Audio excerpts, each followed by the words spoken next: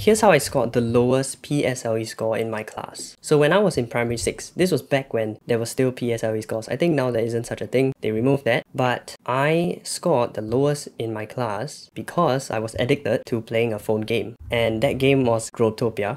It's not a great game, so don't even try playing it. It's waste of your time. But it caused me to get distracted, and because I was so distracted, I definitely wasted the potential that I had because I could have gotten much, much higher for sure. But I disappointed everyone and myself most importantly. See, I was in gifted education program GEP class, and you know they always tell you, oh, like you guys are like the top one percent in the country, and so there was so much expectation and pressure from teachers and parents and my classmates that I was gonna do very well. So the expected score was something like two six five to two seven five that makes any sense. I don't know whether you guys like are in touch with that kind of score now, but it was high expectations and I totally failed all of those expectations. I'm trying to tell you this because I know that many of you are addicted or maybe you don't like that word, but you know you're spending too much time on things like games, Netflix or similar things like Disney Plus, watching shows, right? Or YouTube. It's like so easy to get sucked into that other world and we waste so much of our time and our precious lives away. And so for me, I learned that lesson much earlier on, but I guess I haven't completely learned it even back then because I still was wasting a lot of time on you know shows, YouTube, games, even after that. Um, but I hope that this video here will help you to understand why you are so easily sucked in, and I hope that that self-awareness will help you eventually reduce your use of those things and help you to get your time back and start living. See, many of you are suffering from this, right? Because we are human. It's not your fault for being human and for being so easily targeted. You see, if I was running those companies like Netflix or if I was the game provider, I will do everything in my power. I will use every psychological trick I had to get you hooked and to stay on my game so that you play as much as possible. There'll be more people playing and spending money on the game. Don't feel bad that you are susceptible to these. Just be aware of it. You are human. If you were stabbed by a knife and I wouldn't say, hey, why are you so weak? Why is your skin so weak? Why can't you block the knife attack with your skin? Why is your skin so weak and, and thin? I wouldn't say that because anyone would have been stabbed the same way, right? It's a knife and we are made of flesh and blood. It's no shame to admit that we are easily susceptible to these things, but we just have to be aware that they are using every psychological trick and weapon in the book to keep you addicted. And why are we actually doing this? Because we are running away. We are escaping something. We are always escaping something. And that's the chaos in our life. We are drowning out the chaos and the problems in our life. We're escaping to a better place because even if you're watching a very chaotic drama, you know that everything is going to resolve in the end. You know that, okay, this is like a wild roller coaster ride and it's fun and there's a lot of dopamine release. But in the end, it's another world. It's a better world than the one that you are in because that world doesn't have your problems, right? So you want to go there and you want to immerse yourself in that other world. And it is escapism, right? We are all trying to escape the problems because we don't want to deal with them. There's so much to think about, so much work to do and stuff. What are the problems you are, are you escaping? What are the problems that you are escaping? There are things you are unhappy about. There are things that I am unhappy about. Right? It could be very simple things like right now my table is in a mess. There are many things lying around and I know that near the end of today I will fix most or if not all of it. And maybe you're unhappy that you're not waking up on time. That you want to wake up even if it's in the holidays. You want to wake up at maybe 9 a.m. But you end up waking up at 1 p.m. and that's because you are not sleeping on time. You want to sleep at 12 p.m. or earlier, but you end up sleeping at 3 a.m. So all these small things throughout the whole day and it just happens over the weeks and months, right? Our life is in chaos and we feel there's so many things that I'm unhappy about. They're not getting fixed. This life, this reality is disappointing. As Thanos says, right? Reality is often disappointing. And so I think that's the main reason that we are so susceptible to these things, like wasting many hours of our time in games, in TikTok, scrolling mindlessly, YouTube, Netflix. It's because it's a better world than the reality that you are in right now. What are those things? Is it that maybe you're eating too much, you're exercising too little, you're unhappy with who you are, unhappy with yourself, you are not perfectly happy with the relationships you have, like with your family members or with your friends. You know that you're supposed to be friends, but there are certain things between you guys, maybe that are not completely said, and maybe you feel like people don't like you enough. There are many, many things like these, and we all want to avoid those emotions, avoid those negative feelings and disappointments, and so we escape. But it's like painkillers, right? Painkillers are quite useless if you think about it in terms of treating the problem. You can take painkillers, but it will not solve the root cause of your pain. It just numbs the pain. It just helps you escape. Three years ago, around May, I injured my back quite badly, and that injury has still not fully healed. But for a year or so, I did go to see some doctors, and they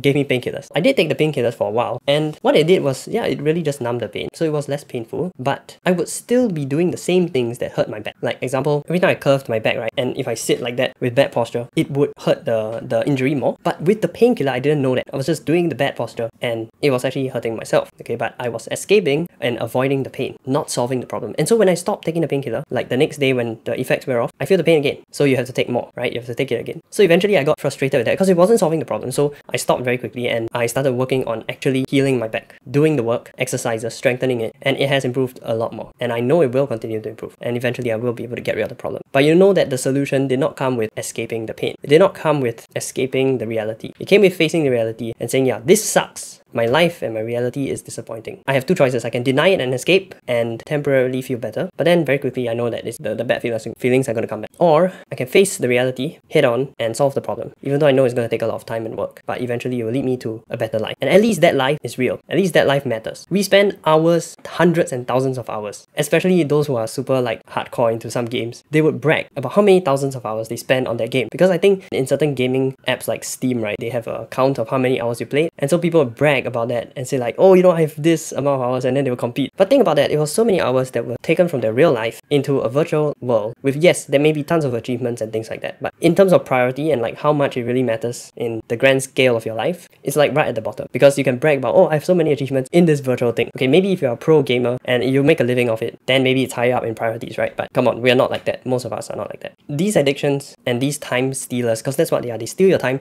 Actually, no, they're life stealers. They steal your life. So, you know, in certain games, like I used to play this game called Shadow Fight, and one of the power-ups, right, or like enchantments you can have is life steal. So if you hit the enemy and the power gets activated, it drains their life and you get it, alright? So it's quite a cool power-up. But that's exactly what the games are doing to you. They're stealing your life and your energy and time. And then the games are profiting and the companies are growing. Now it's actually good. I don't have anything against these things. I think that entertainment and companies and technology is great. But it's not great when your life gets stolen and your energy. Like you only have a finite number of years. Maybe by the time you are old, technology is so much better. And let's say life expectancy is 100 years old. So you have 100 years, right? But if you spend a few thousand hours playing a certain game, those are days and months that have been minus off from your lifespan. And they're gone forever. And you used it on something so low priority, something that doesn't exist. And so, yeah, just realize what these are, that they're stealing your life, your energy, your dreams. They are stealing your dreams, by the way, because you can't work towards your goal if you're working towards a goal in a virtual world, or if you're too busy living a dream of being in another universe in a TV show. And so, you want to know what uh, PSLE score I got in the end? I remember it was the day of the release of the result, okay, and we were all back in school in the classroom. Our form teachers in the front, you know, she's saying blah blah blah, and she's saying like, oh, you guys did quite well, and you know, so I got my hopes up a bit. And then she said, okay, so she announced the first in class first, and I still remember the guy, I still remember his name. I think got two seven three or two seven five, something like that, pretty high, and like you know, I was like, wow, it's pretty good. Um, then she called up the rest of us, but in descending order. So she called the first in class, highest scorer, then going down the list, and then my name wasn't called for really long, and I was starting to get worried. After like three quarters of the class has been called, I'm like in the bottom twenty five percent for sure. Then she stopped announcing the names because it was getting too low, so she didn't want to embarrass you, right? She just called your name and she didn't announce the score. Then it turns out when I opened the thing, I got 251. 251 might not seem low to you. In fact, to some of you, it's like, wow, that's pretty high. But remember the expectation and remember the circumstances I had. So I was expected to get much higher than that. So it was a disappointment disappointment to everyone. And when when I got the score, actually I tied for last place with three other people in my class. The four of us, we all got the same score. We all were the last in class. And she called the three people up to the front to give them a pep talk because of their score. And so I was quite curious because I also had the same score. Why is she not calling me up there? And then when I went to ask her, she said, Oh, because you have DSA. So I opened the DSA acceptance offer. Turns out that I got accepted into the waiting list to RI. I went for a DSA interview based on academics because I was in GEP a few months ago before that exam, PSLE exam. And they gave me the offer of waiting list. They didn't say, okay, you're accepted. It wasn't a confirmed thing. But now after the results got released, then they said accepted. So think about how lucky I got. Because I could have very easily not been accepted. I did not have any other acceptance, by the way, to other schools. Hwa Chong DSA interview straight up rejected me, I think. and NUS High, I think also something like that happened. RI was the only one I had. Plus, it was waiting list. And so it's not confirmed. So you see how lucky I got. If not for that acceptance, if other people, you know, were in front of me in the waiting list, and I could just have easily as not been accepted